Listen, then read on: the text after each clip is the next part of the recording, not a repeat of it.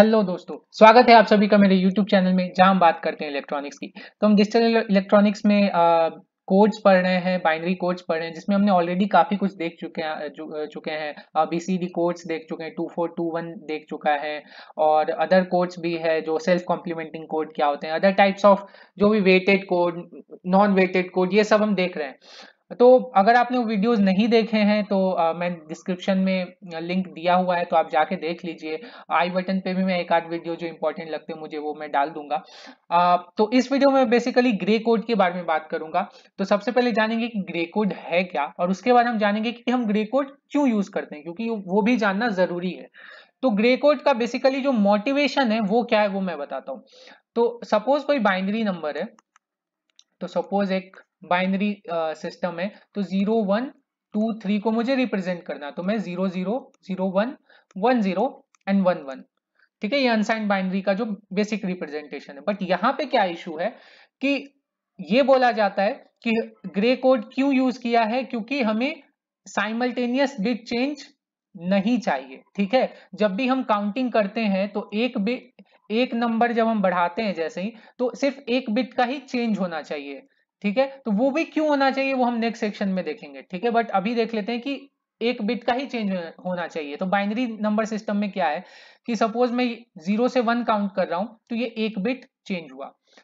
जब मैं वन से टू काउंट कर रहा हूँ तो ये वन से ज़ीरो हुआ और ये भी ज़ीरो से वन हो गया। मतलब यहाँ पे दोनों बिट चेंज हो गए तो ये मुझे नहीं चाहिए। ठीक है? मुझे एक ही बिट चेंज चाहिए। हाँ जब टू से थ्री काउंट किया तो एक बिट है बट वन से टू जब काउंट किया तब इशू आ सकता है। वो हम देखेंगे क्यों आएगा। नेक्स्ट सेक्शन में। तो अब मैं क्या करूँगा? ग्रे कोड ऐसा बनाया है कि ये ज़ीरो ज़ीरो है। सॉरी ये ज़ीरो ज़ीरो है, ये ज़ीरो वन है। ठीक है? यहाँ पे तो वन बिट चेंज है। अब ज़ीरो वन के बाद वन ज़ीरो की जगह मैं वन वन लिख देता हूँ और इसको वन ज़ीरो लिख देता हूँ। ठीक है? तो उससे क्या होता है? अब देखो यहाँ से यहाँ मेरा वन बिट चेंज है ओके यहाँ से यहाँ भी मेरा वन बिट ही चेंज है क्योंकि वन कांस्टेंट है और यहाँ से यहाँ भी मेरा वन बिट चेंज है। तो क्या कर दिया मैंने? जो साइमल्टेनियस बिट जो यहाँ पे चेंज हो रहा था, उसको मैंने यहाँ पे रेक्टिफाई कर दिया और सब सिंगल बिट ही चेंज हो रहा है। अब देखो, ये तो हो गई टू बिट के बाद। अब मुझे अगर थ्री बिट पे जाना है तो मैं क्या करूँगा? तो थ्री बिट पे जाना है तो सपोज़ मैं ये सारे नंबर जो है, इसको लिख देता हूँ ज़ीरो ज़ीरो ज़ीरो ज़ीरो ये थ्री बिट के लिए आ गया। अब मुझे क्या करना है किस ग्रे कोड में ये सपोज़ चार को रिप्रेजेंट करना है, या पाँच को, छह को, किसको भी। तो अब काउंटिंग देखो कैसे करेंगे कि ये चार जीरोज आ गए हैं और ये दो बिट के लिए परमुटेशन कॉम्बिनेशन चारों आ गए हैं। अब अब मैं यहाँ पे ज़ीरो नहीं लिख सकता हूँ, क्योंकि यहाँ पे ज़ीरो लिखूँगा तो यहाँ कोई भी बिट चेंज करूँगा तो यही चारों में से रिपीट होगा। तो मुझे यहाँ पे वन करना ही पड़ेगा रिप्रेजेंट नेक्स्ट नंबर रिप्रेजेंटेशन के लिए, क्योंकि नहीं तो डुप्लीकेशन होगा। तो यहाँ पे वन लिखा। अब देखो ऑलरेडी मैं एक बिट का चेंज कर चुका हूँ तो मैं बाकी दोनों बिट क्या रखना रखना पड़ेगा मुझे? कॉन्स्टेंट रखना पड़ेगा। तो ये वन वन ज़ीरो हो गया। ठीक है? अब नेक्स्ट नंबर लिखने के लिए अगेन यहाँ पे तो वन ही लिखूँगा, क्योंकि ये चार ज़ीरो आ गए हैं, अब चार वन आएँगे। ऑफकोर्स आपको पता ही है। अब देखो, मुझे ये पता है कि ये दोनों जो नंबर्स हैं, ये दोनों, इनमें वन बिट का ही चेंज है। तो अब मैं ये लिख चुका हूँ तो अब ये लिख देता हूँ। तो ये वन वन ठीक है? या मैं इसको इसी कलर से लिख देता हूँ। वन वन ठीक है? अब ये भी पता है मुझे इन दोनों के बीच में वन बिट का चेंज है। तो ये वन ज़ीरो वन सिमिलरली इन दोनों के बीच में वन बिट का चेंज है। वन ज़ीरो ज़ीरो तो इस तरह से मैंने आठों नंबर लिख दिया और सब में देखना वन बिट का चेंज है। ये यहाँ से यहाँ चेंज हुआ, इसमें यहाँ से यहाँ चेंज हुआ और इसमें यहाँ से यहाँ चेंज हुआ। तो इस तरह से वन वन बिट का ही चेंज आ रहा है। सिमिलरली आपको अगर सिक्सटीन नंबर्स लिखने हैं मतलब फिफ्टीन तक काउंट करना है तो आप इसी को पूरा उठा के वापिस से उस तरह से लिख सकते हो। ओके तो यहाँ पे ऑफकोर्स एक और बिट आएगा, ये आठ ज़ीरो आएँगे और फिर आठ वन आएँगे। तो उसका एक टेबल बनाया है मैंने, वो देख लेते हैं। तो उसका टेबल इस तरह से है। तो अब देखो यहाँ पे तो ये जो है, यहाँ पे बाइनरी इक्वेलेंट लिखा है और यहाँ पे ग्रे कोड इक्वेलेंट लिखा है। तो आठ तक तो आप देख ही रहोगे ये हमने लिखा है या फिर चार, पाँच छ सात सॉरी सात तक तो लिखा ही है हमने। तो ज़ीरो वन ज़ीरो ज़ीरो देखो, ये सेम नंबर लिखा हुआ है। अब इसी को क्या किया है? 15 तक में ये ज़ीरो ज़ीरो ज़ीरो ज़ीरो की जगह वन वन वन वन लिख दिया है। तो अब देखो यहाँ पे क्या हो रहा है एग्जैक्टली exactly, ये तो मैंने काउंटिंग करना सिखा दिया आपको। अब देखो एक्चुअली क्या हो रहा है कि ये जो बाइनरी नंबर है zero zero zero one one zero one one इसको मैं ग्रे कोड में कैसे लिख रहा हूँ? तो एक तरीका और है कि ज़ीरो ज़ीरो ज़ीरो को ज़ीरो ज़ीरो ही लिखेंगे। क्यों लिखेंगे ये बताता हूँ। तो इसमें क्या करते हैं? एक सॉरिंग करते हैं। दोनों एडजेसेंट बिट्स का एक सॉरिंग करते हैं तो आ जाता है। तो सपोज़ मैं थ्री बिट ले लेता हूँ तो ये थ्री बिट ले लिया सपोज़ ठीक है? तो अब, क्योंकि टू बिट में तो थोड़ा कंफ्यूजन हो सकता है, इसलिए थ्री बिट ले लिया ताकि आपको क्लियर हो। तो ये ज़ीरो जो फ़र्स्ट बिट है वो एज इट इज़ लिखना है, ठीक है? First bit as it is लिखना है। तो ज़ीरो का ज़ीरो लिखा, अब क्या करना है? एडजेसेंट बिट को एक्सॉर्ट करना है। तो अब सेकेंड बिट लिखने के लिए, इन दोनों का एक्सॉर्ट करेंगे। तो ज़ीरो ज़ीरो क्या होगा? ज़ीरो होगा। फिर इन दोनों का एक्सॉर्ट करेंगे ज़ीरो ज़ीरो ज़ीरो होगा, ठीक है? अब ये वाला लिख लेते हैं। तो ये first bit as it is फिर ये दोनों का क्या करेंगे? एक्सॉर्ट तो ज़ीरो वन क्या हो जाएगा? वन और फिर इन दोनों का एक्सॉर्ट करेंगे तो ये ये दोनों क्या हो जाएगा? वन वन ज़ीरो तो इसलिए ये ज़ीरो वन ज़ीरो आया। अब कोई भी नंबर उठा लेते हैं। सपोज़ फिफ्टीन उठा लेते हैं। फिफ्टीन का वन वन वन वन है। तो वन वन वन वन का क्या आ जाएगा? एम एस बी तो वन आएगा। फिर ये वन वन ज़ीरो फिर ये वन वन ज़ीरो फिर ये वन वन ज़ीरो तो इसका ये आ गया। सिंपल है, कोई भी उठा लो इसमें। तो इसमें यही किया गया, एक सॉरिंग की गई है। अब ये वन ज़ीरो वन ज़ीरो उठा लो तो वन ज़ीरो वन ज़ीरो। तो ये वन, फिर वन ज़ीरो वन, फिर ज़ीरो वन वन, फिर one zero one. Adjacent bit का एक सॉरिंग करना है, सिंपल है। अब देखो, इसमें एक और चीज़ ध्यान देने वाली है कि यहाँ पे मैं एक लाइन खींचता हूँ, रेड कलर से सपोज़। तो ये देखो, यहाँ पे आठ ज़ीरो और यहाँ पे आठ वन है। तो यहाँ पे मैं इस तरह से एक ये देखो, यहाँ पे एक बाइफर्केट कर दिया है।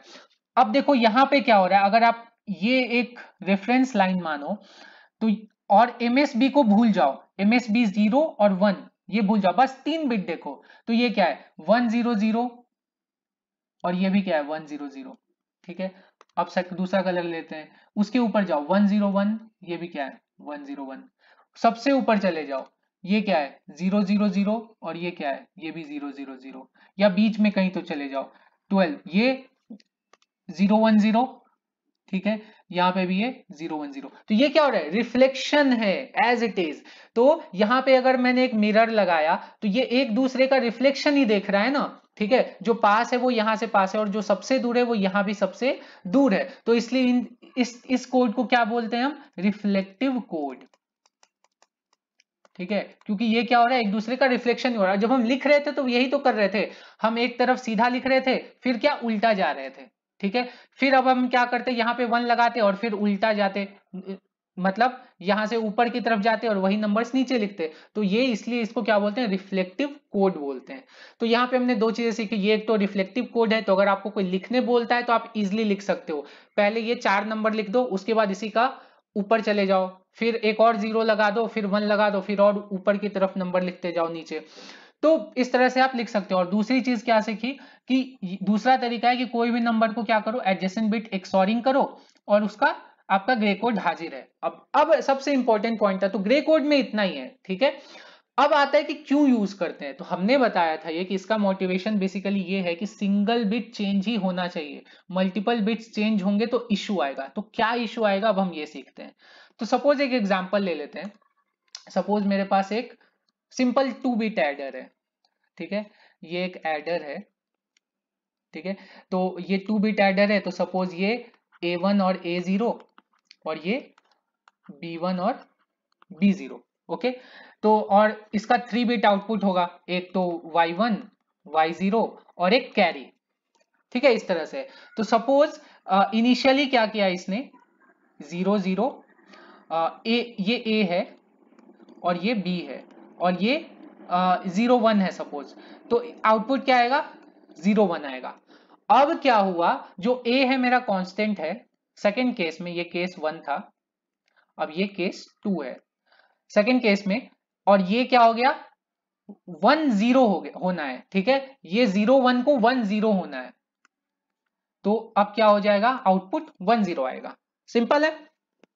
बट अब एक एग्जांपल देखो कि सपोज़ ये कहीं तो भी कोई सर्किट से आ रहा है। सपोज़ ये बड़ा सा ब्लॉक है जो B1 जनरेट करके इसको दे रहा है। ये भी कोई बड़ा सा ब्लॉक है जो B0 जनरेट करके इसको दे रहा है। ठीक है? तो सपोज़ करो कि आपका जो ब्लॉक है, वो सपोज़ इसका जो B1 है B1 का डिले कम है, ठीक है? लेस डिले ये जो ब्लॉक है, उसका लेस डिले है और ये इसका मोर डिले है, ठीक है?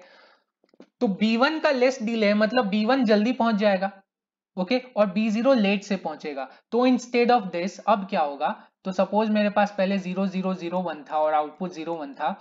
अब यहाँ पे ज़ीरो ज़ीरो अब देखो B1 का डिले ज़्यादा है तो ये MSB है और ये LSB है, ठीक है? तो बी वन का डिले कम है लेस डिले है ना? तो बी वन चेंज हो जाएगा। तो बी वन हो गया वन बट बी ज़ीरो अभी चेंज हुआ नहीं है। बी ज़ीरो को ज़ीरो होना था बट इसका डिले ज़्यादा है पाथ में, इसलिए ये वन ही रहेगा। कुछ देर के लिए बोल रहा हूँ। तो आउटपुट क्या आ जाएगा? One one. फिर थोड़ी देर बाद जब बी ज़ीरो भी आ जाएगा तो यहाँ पे ज़ीरो ज़ीरो और यहाँ पे फाइनली वन ज़ीरो आ जाएगा तो ये आउटपुट वन ज़ीरो हो गया। तो आउटपुट हमारे पास पहले ज़ीरो वन था, बाद में वन ज़ीरो था बट इंटरमीडिएट स्टेट भी आया है। इसको बोलते हैं इंटरमीडिएट स्टेट ठीक है? ये डिजायरेबल नहीं है तो भी ये आया है। मतलब इसको डायरेक्ट ज़ीरो वन से वन ज़ीरो होना चाहिए था बट बीच में वन वन भी थोड़ा समय के लिए आया आउटपुट पे। तो मतलब क्या दिक्कत है सर? फाइनली तो आ जा रहा है ना। बोले, ये सर्किट में आ जा रहा है भाई। अब देखो, इसी सर्किट में थोड़ा सा ट्विक करता हूँ। अब मैंने क्या बोला, ये ए वन ए ज़ीरो ना कॉन्स्टेंट नहीं है ज़ीरो ज़ीरो इसको मैं इस तरह से डिफाइन करता हूँ कि ये फीडबैक जा रहा है एक, ठीक है?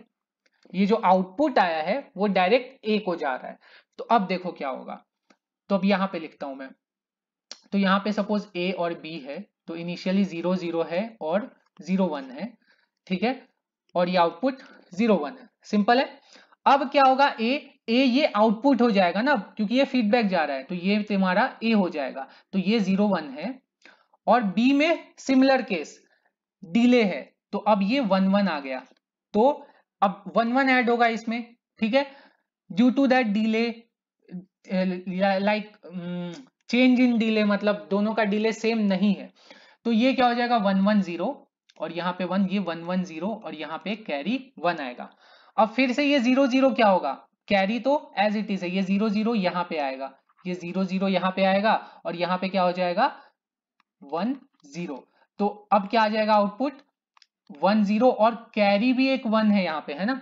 कैरी भी वन है। तो इनिशियली आउटपुट क्या था? प्रीवियस केस में ज़ीरो वन ज़ीरो बट अब आउटपुट क्या आ रहा है? वन वन ज़ीरो तो देखो इफ़ेक्ट दिख रहा है आपको कि एक इंटरमीडिएट स्टेट आने के कारण, एक इंटरमीडिएट स्टेट आने के कारण ये पूरा का पूरा जो आगे के जो आउटपुट्स हैं, वो भी गलत हो जाएँगे। Because it's it's actually accumulator ना।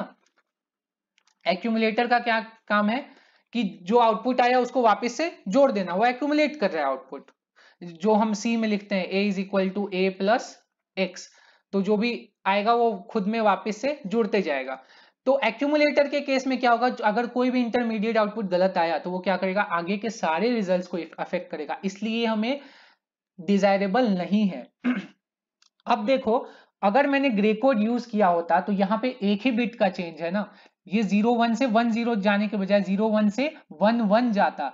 तो एक बिट का ही, एक बिट का ही चेंज है तो उसमें कम डिले रखो या ज़्यादा डिले रखो। कोई भी इंटरमीडिएट स्टेट आएगा नहीं। तो इस टाइप के कंडीशन को बोलते हैं रेस कंडीशन तो रेस कंडीशन क्यों बोलते हैं? क्योंकि यहाँ पे दोनों बिट साइमल्टेनियस चेंज हो रहे हैं और दोनों में रेस लगी हुई है कि मैं पहले पहुँच रहा हूँ या मैं पहले पहुँच रहा हूँ। एक का डिले कम हो रहा है, एक का डिले ज़्यादा हो रहा है। तो दोनों में एक रेस लगी हुई है ना कि ये जल्दी पहुँच गया, ये लेट से पहुँचा। इस रेस कंडीशन के कारण क्या हो रही है? यहाँ पे इंटरमीडिएट स्टेट आ रहा है, जिसके कारण से पूरे आउटपुट रिज़ल्ट गलत आ रहे हैं। ठीक है? तो इस कारण से हमें ग्रे कोड चाहिए और ये ग्रे कोड बहुत ज़्यादा यूज़ होता है डिजिटल डिज़ाइन में। आ, तो ग्रे कोड से क्या होता है? हम मेक श्योर sure करते हैं कि सिर्फ़ एक ही बिट एक बार में चेंज हो जिसके कारण से ये जो डिफरेंस इन डिले है ना उसका कोई इफ़ेक्ट ना आए। ठीक है? तो आई थिंक आपको समझ में आया होगा कि हम ग्रे कोड क्या है और क्यों यूज़ करते हैं। तो अगर आपको आ, कोई भी डाउट हो तो मुझे कमेंट सेक्शन में पूछो। अगर आपको मेरे वीडियोस अच्छे लग रहे हैं तो इसको लाइक करो अपने फ्रेंड्स से शेयर करो और बने रहे रहो मेरे चैनल से सब्सक्राइब कर लो और देखते रहो वर्तु शर्मा का चैनल तब तक के लिए have a nice day take care